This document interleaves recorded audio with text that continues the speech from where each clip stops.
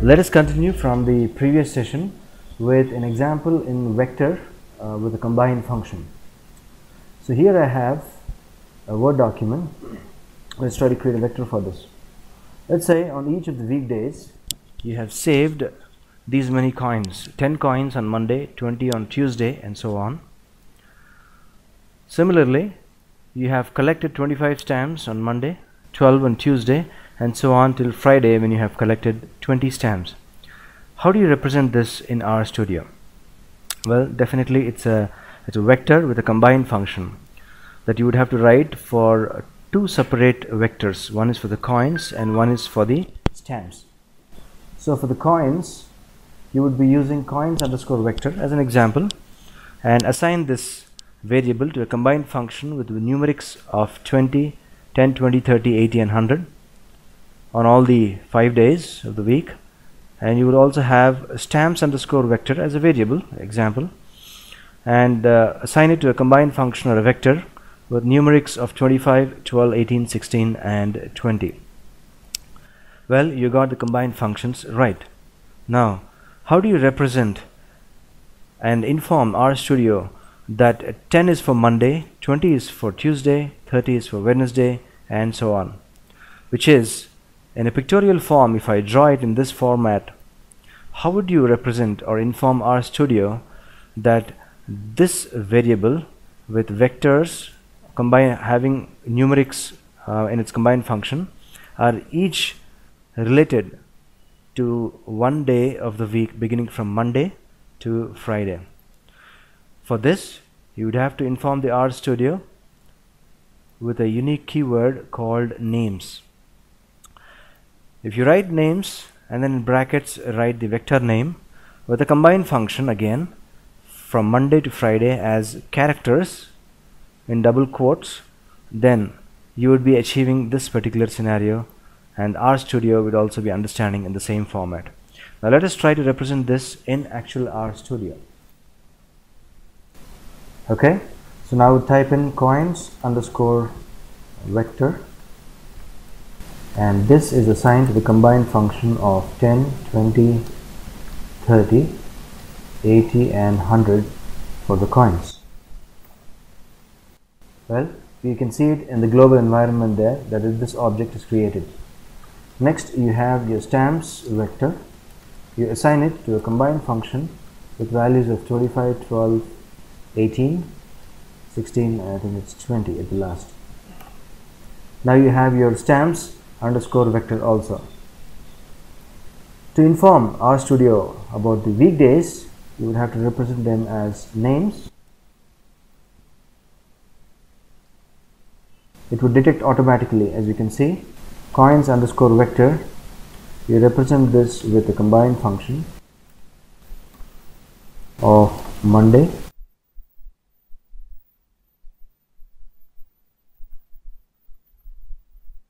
Tuesday till Friday. I have to write the same thing for stamps underscore vector. I just copied the same thing there and now you have this particular information. Well, this is a cumbersome way of typing the days of the week again and again, isn't it? But what you can do is you can actually create another variable and assign the days of the week to this particular um, vector. So let's assign the days of the week vector to another variable. Let's say days underscore vector and you want to assign this for this combined function. Well, it has taken the information. Now simply what you can do is you can say coins underscore vector or names of coins underscore vector. Assign this to days underscore vector. That's it. You can do the same for stamps underscore vector also. Let's say you want to now calculate the overall collection per day. Okay? So now you want to do overall collection and savings per day which is the sum total of stamps and coins that you have on each day of the week. In RStudio when you whenever you combine or, or sum two vectors it takes the element wise sum. So let's do a small example here. Let's say you have got um, a vector called x underscore vector and you have assigned it to a combined function of 3 4 and 6 you have y underscore vector with a combined function of 6 7 and 9 you can do a total of these two vectors. Let's say t underscore vector equal to x underscore this one plus y underscore vector. Okay? And you want to print out t underscore vector. See the summation here. It's 3 plus 6 that's 9 4 plus 7 11 11 and 6 plus 9 that's 15 here. So it's always an element wise summation when you're summing up two different vectors. Now let's try to do this for our coins and stamps example. So you have here, let's say total underscore vector is the sum of coins plus stamps underscore vector. You want to print out this one?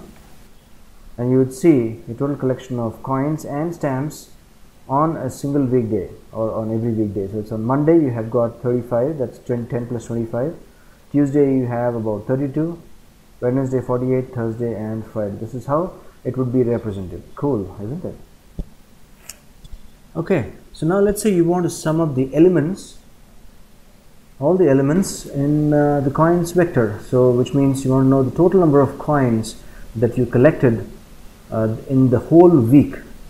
So for that you would say take any other uh, variable for example total coins and you assign it and write it up as the sum of coins underscore vector.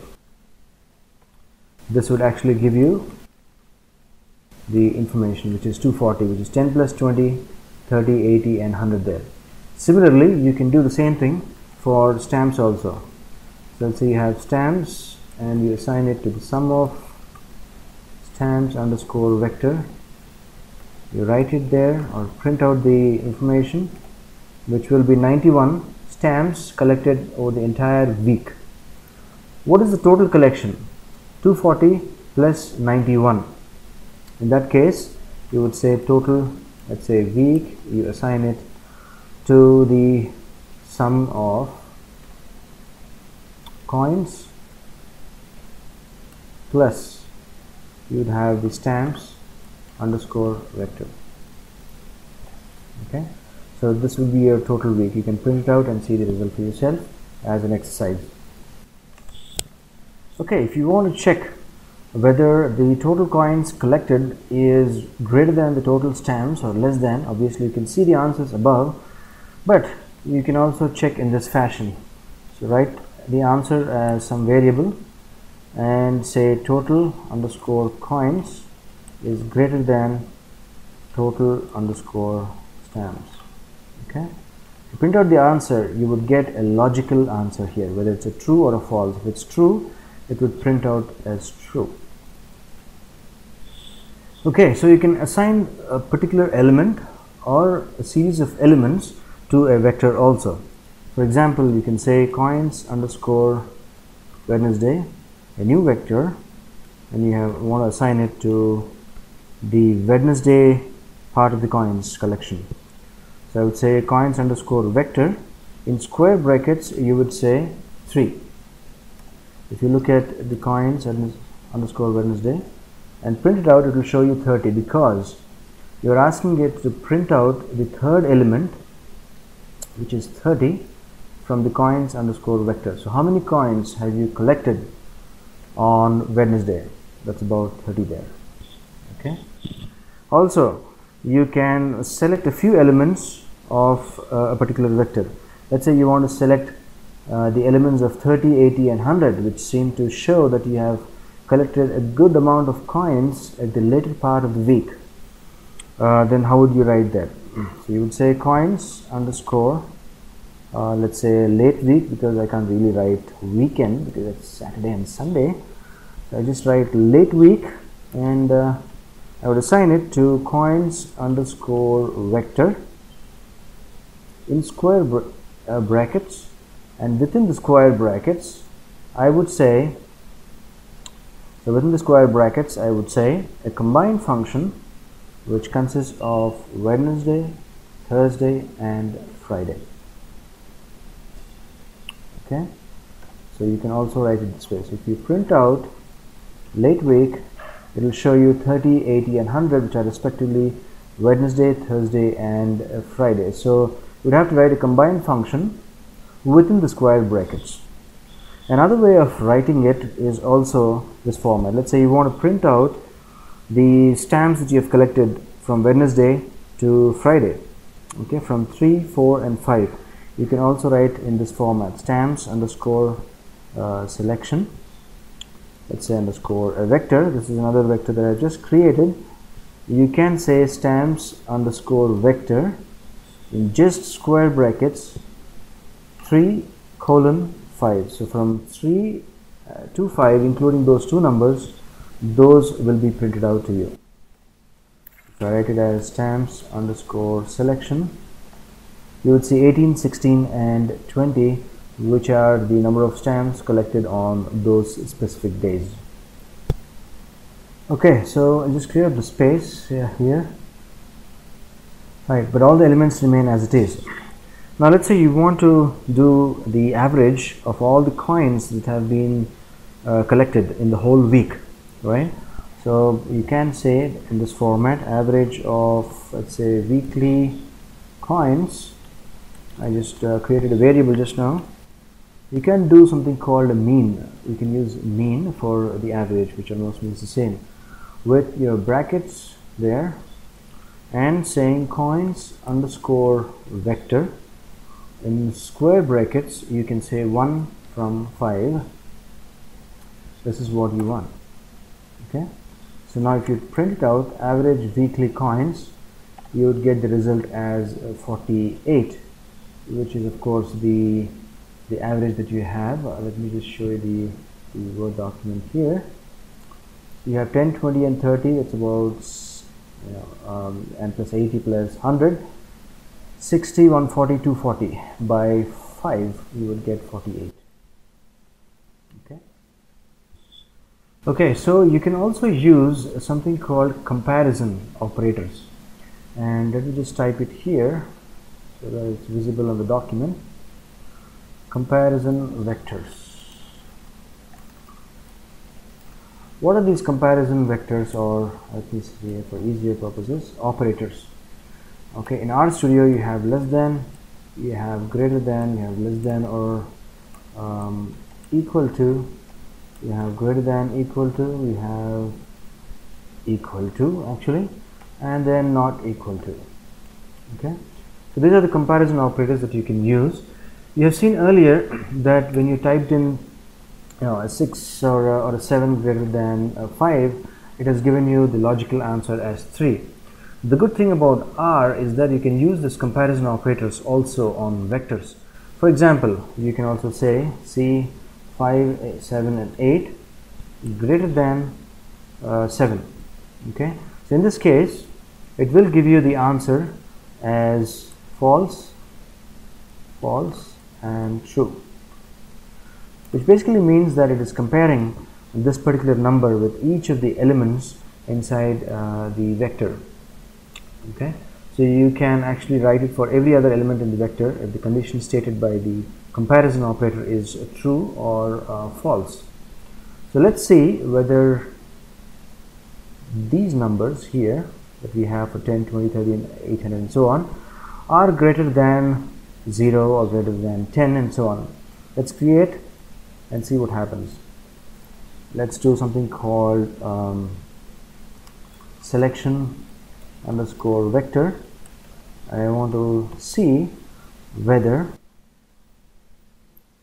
the coins vector, okay, so this coins underscore vector is actually greater than 20 so if you type in selection underscore uh, vector it'll give you these answers. So if you compare it on the side which each of these numbers you will see 10 is not greater than 20 right? So it's false. 20 is of course not greater than 20 so it is false.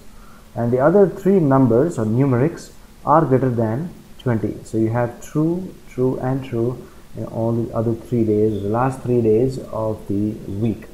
So you can actually run these kind of comparison operators on the elements of a vector also. Okay so now let's say you want to print out the the numbers which are greater than 20 during that week including the day of the week.